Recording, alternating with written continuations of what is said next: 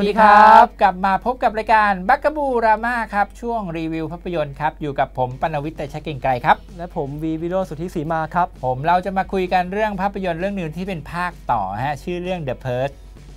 The Purge Anarchy The Purge ครับ ผมจำไม่ได้ละอนาคีคืออะไร ตอนดูไปก็สงสัยอนาคีคืออะไร แล้วอนาคู่อยู่ที่ไหนฮะ ดีนะไม่อนาอุจจาระพอเถอะอนาอุจจาระของคุณนี่คือเรื่องอะไรเนี่ยอะ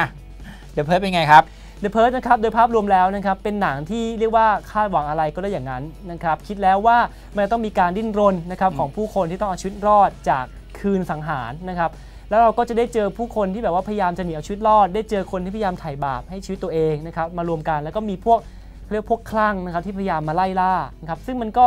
มีเขาเรียกว่ามีสูตรทุกอย่างที่เราคาดเดาได้นะครับแต่ถามว่าชอบไหมนะครับผมคิดว่าคนที่ชอบแนวนี้เนี่ยน่าจะโอเคนะ สำหรับผมนะครับผมมองว่าหนังเรื่องนี้มันวุ่นวายหมดเลยฮะ มันมีอะไรต่างๆนานามากเยอะเยอะไปหมดอะ คือภาคแรกมันนิ่งๆชื่อมันก็ง่ายๆบอกแล้วคุณ ภาคนี้มันวุ่นวายอนาคีอะไรก็ไม่รู้เดี๋ยวก็ยิงกันเดี๋ยวก็ระเบิดใส่กันเดี๋ยวก็มีแก๊งรถตู้มารับคนไปฆ่าอะไรเงี้ยเดี๋ยวก็มี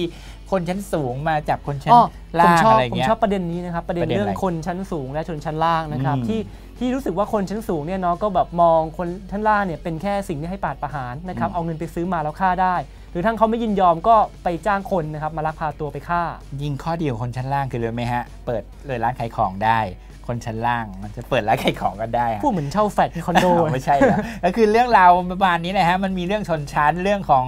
คนจะไล่ฆ่ากันคนที่เห็นด้วยกับเอ่อเงื่อนไขของหนังที่บอกว่า พอหลังพระอาทิตย์ตกเราจะฆ่าใครก็ได้เป็นสิ่งถูกกฎหมาย ซึ่งมันจะมีกลุ่มเนี้ยที่เห็นด้วยกับอีกกลุ่มหนึ่งซึ่งไม่เห็นด้วยเลยกับกับแนวคิดนี้ที่ผมผมชอบแก๊งนี้นะ แก๊งต่อต้านนะครับที่พยายามจะมาจัดการเนาะพวกอืมคนรวยๆที่ซื้อคนยากจนหรือลักพาตัวคนยากจนเนี่ยมาฆ่านะครับนี่เป็นไรเนี่ยเป็นพวก อยู่ในกลุ่มคนชั้นล่างเลยพไม่ยายามผมรู้สึกว่าเหอมันเป็นความเป็นธรรมไงอืมนะความเป็นคืนความเป็นธรรมให้ประชาชน คืออะคืนความสุขให้มันโอเคเข้าใจได้ แต่หนังเรื่องนี้มันมันมีบางอย่างที่ผมรู้สึกน่าเบื่อ คืออย่างเช่นเรื่องราวเกี่ยวกับตัวเดี๋ละยวนะครน่ะ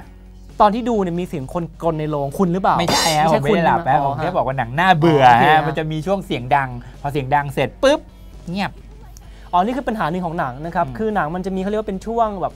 ช่วงแบบที่มันตื่นเต้นนะครับไล่ไปเรื่อยๆ ซึ่งมันอาจจะไม่มีอันไหนที่เป็นคลายแม็กซ์ที่เด่นที่สุดนะครับเพราะฉะนั้นเนี่ยมันก็เลยรู้สึกว่าอารมณ์มันก็จะแบบเดินไปเรื่อยๆใช่ไหมไม่ใช่หรอกมันเงียบอะคือยบคือเป็นช่วงเวลาที่ในเมืองไงครับ ในเมืองไม่มันไม่ไม่คุมีณคนคุณมันจำเป็นต้องเงียบ เงียบแบบมันจำเป็นต้องเงียบเงียบเนื่องจากเพื่เขาอพยายามจะอืมเงียบๆเดี๋ยวมีคนมาฆ่าเขาตายเขาต้องหลบหนีอ๋อคุณพยายามให้เหตุผลเอาใจช่วยเขาสุดชีวิตเลยนะ แล้วตัวละครล่ะ เรื่องตัวละครผู้หญิงตัวละครลูกที่แบบโอ้ยมองโลกสดใสโพซิทีฟเหลือเกินจริงๆเรื่องนี้ชีวิตนะครับดีเทียบกับภาคก่อนเนี่ยเรื่องนี้อ่าเนี่ยตัวละครผมคิดว่ามันมีความรอบด้านนะน่าสนใจอืมเพราะว่ามีตัวละครที่เป็นพวกคนผิวดำนะฮะคนชั้นล่างเนี่ยเต็มไปหมดเลยฮะนั่นแหละเหตุผลผมอะ คนเนอะผิวดำคุณไม่ชอบคนดำไม่เกี่ยวไม่เกี่ยวหนังเรื่องนี้มันมีอะไรเยอะไปหน่อยเลยแล้วเรารู้สึกว่ามันอะไรจะเยอะไปขนาดนั้น แล้วก็จะฆ่ากันไปก็ฆ่าไปเลย จะเก็บไปทำไมอะไรเงี้ย แต่ว่าเงื่อนไขมันมีน่าสนใจก็คือเรื่องของความแตกต่างของชนชั้นใช่ไหมฮะแล้วก็เรื่องของการไล่ล่าฆ่ากัน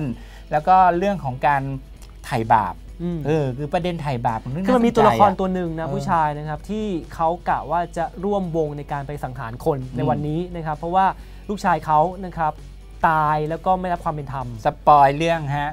ไม่ใช่ spoil นี่รู้อยู่แล้วอ๋อครับข้อมูลการสร้างบอกสุดท้ายแล้วก็คือผู้ชายคนนั้น อะอ่าอ่าอ่าบอกไม่ได้ตายหรือนะฮะไม่ตายต้องไปดูฮะ เราไม่ได้ spoil แล้วแต่ว่าเรื่องเนี้ยประเด็นของตัวละครเอกของเรื่องคนเนี้ยน่าสนใจมากว่าเขาเขาจะไปฆ่าคนแต่สุดท้ายเขาดันไปช่วยคน ใช่ ผลผลของการไปช่วยคนกับการไปฆ่าคนมันต่างกัน นี่คือสิ่งที่หนังเรื่องเนี้ยฝากแล้วอ่าแล้วแล้ว แล้วคนที่เขาไปช่วยเอาไว้อืมก็พยายามมาห้ามปรามไม่ให้เขาไปฆ่าคนขอเถอะเดี๋ยวคนจะงงว่าเราจะไปฆ่าคนหรือจะไปช่วยคนอ่าฮะอ่าฮะในในความเป็นฆ่าคนและช่วยคนในภาค The Purge Anarchy เนี่ยคุณคิดว่า 200 บาท ถ้าเขาจะไปดู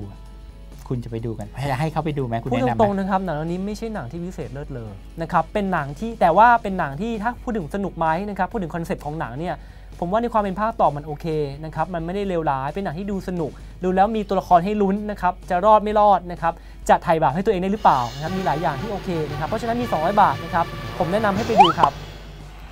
ตาคุณแล้วนะครับนะฮะเหมือนจะไม่ชอบนะคุณฮะจะไม่ชอบเลยนมี 200 บาทนะครับอืมทำไงดี